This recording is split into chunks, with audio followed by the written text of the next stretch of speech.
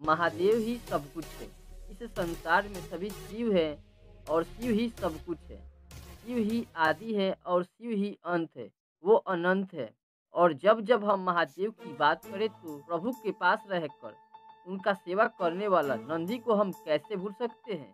जहाँ पर भी भगवान शिव की पूजा होती है, उस स्थान पर नंदी को भी याद किया जाता है। हर मंदिरों में देखा जाता है कि भगवान शिव के सामने ही उनका वाहन नंदी की मूर्ति स्थापित होती है। जिस प्रकार भगवान शिव के दर्शन और पूजन का महत्व है, उसी प्रकार नंदी का भी दर्शन किया जाता है।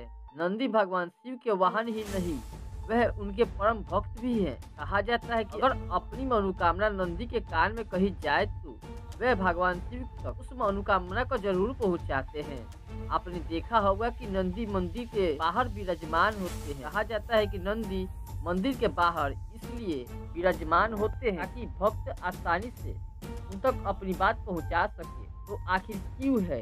क्या है इसके पीछे का रहस्य? आइए जानते हैं वीडियो में। तो वीडियो स्टार्ट करने से पहले, अगर आपने हमारे चैनल को सब्सक्राइब नहीं किया है तो अभी कर ले और कमेंट सेक्शन में हर हर महादेव ज़रूर लिखें। शास्त्रों में इस बात का ज़िक्र किया गया है कि स्वयं भगवान शिव जी ने नंदी को यह वरदान दिया था कि जो भी भक्त तुम्हारे कान में आकर अपनी मनोकामना कहेगा, उस भक्त की सभी इच्छाएँ ज़रूर पूरी होंगी। कहानी शुरू होती है नंदी के पिता श्रीलाद से। श्रीलाद ने जमकर भोलेनाथ की तपस्या की थी ताकि उन्हें एक संतान की प्राप्ति हो जाए और उनका वंश आगे चल पाए। भगवान शिव ने उनके कठोर तपस्या से प्रसन्न होकर उन्हें एक पुत्र का वरदान दे दिया। वरदान में श्रीलाद ने बैल जैसा पुत्र मांगा।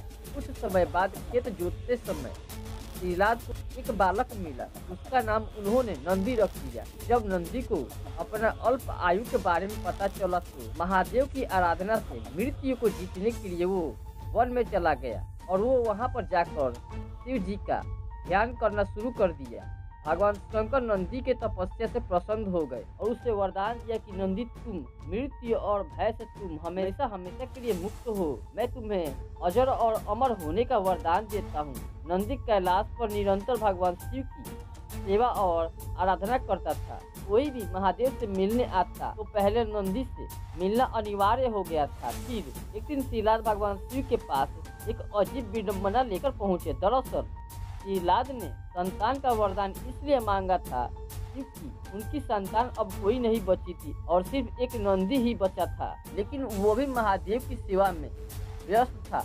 इस वजह से श्रीलाद को लगा कि उसका वरदान पूरा ही नहीं हुआ है, क्योंकि उसे पिता का सुख ही नहीं मिला। ये सुनकर महादेव ने नंदी को बुलाया। महादेव जी स्वयं नंदी से अपने पुत्र समान ही प्रेम करते थे, लेकिन उन्होंने फिर भी नंदी को कहा कि उसे पुत्र होने का दायित्व निभाना होगा।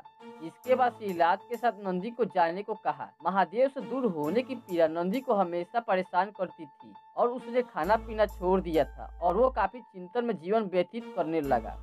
अपने एक लौते पुत्र की ये दशा देखकर श्रीलाद एक बार पुनः महादेव के पास गए और उनसे प्रार्थना की कि वे नंदी को वापस अपने पास बुला ले। क्योंकि वो अपने पुत्र की ऐसी दशा नहीं देख सकते थे। और साथ ही उनका वंश इस बात का प्रतीक होगा कि भगवान शिव अपने पुत्र के समान प्रेम करते हैं। नंदी के जाने के बाद महादेव की भी उसकी यादें सता रही वो भी नंदी से प्रेम करते नंदी के इस अतुल्य प्रेम को देखकर ही महादेव ने नंदी को यह वरदान दिया कि कोई भी प्रार्थना अगर मुझ तक पहुंचानी हो, नंदी के कान में उसे बोल दिया जाए। उसकी प्रार्थना सीधा मेरे पास पहुँच जाएगी। यहाँ तक कि माता पार्वती ने भी भगवान शिव तक अपना संदेश पहुँचाने के लिए नंदी के कान में ही बोला था। नंदी सदैव ही भगवान शिव के साथ रहते हैं। इसके बाद देवों के देव महादेव ने माता पार्वती के सहमति से सभी गणों गणेश और देवों के समक्ष गणों की अधिपति के रूप में नंदी का अभिषेक करवाया। तो इस प्रकार नंदी बने नंदेश्वर। एक बार गणेश जी ने भी एक अत्यंत कठिन परिस्थिति आने पर नंदी के कान में महादेव का तपस्या तोड़ने के लिए कहा था, जिसके बाद महादेव ने अपनी तपस्या तोड़ी थी और उस कठिन परिस्थिति का सामना किया था। तो इस कथा से हमें ये सीख मिलती है कि महादेव अपने सारे भक्तों को अकेला कभी नहीं छोड़ते। पौराणिक मान्यताओं के अनुसार बाद में अभूतों की पुत्री सुरेशा के साथ उनका विवाह हो गया। कि शिव जी ने ही नंदी को वरदान दिया था। जहाँ भी उनका निवास होगा, वहाँ नंदी हमेशा विराजमान रहेगा। इसलिए हमेशा शिव मंदिर में शंकर जी के परिवार के साथ ही नंदी भी विराजमान होते हैं। दोस्त, ये थी नंदी की कहानी जो बाद में नंदेश्वर बने। अगर मन साफ़ हो और और भगवान के प्रति सच्ची आस्था हो तो वे मनुष्य का उद्धार अवश्य करते हैं। दोस्तों, अगर वीडियो अच्छी लगी हो तो लाइक करें एंड चैनल को सब्सक्राइब करें, क्योंकि आपको ऐसा वीडियो हमेशा मिलता ही रहेगा। धन्यवाद।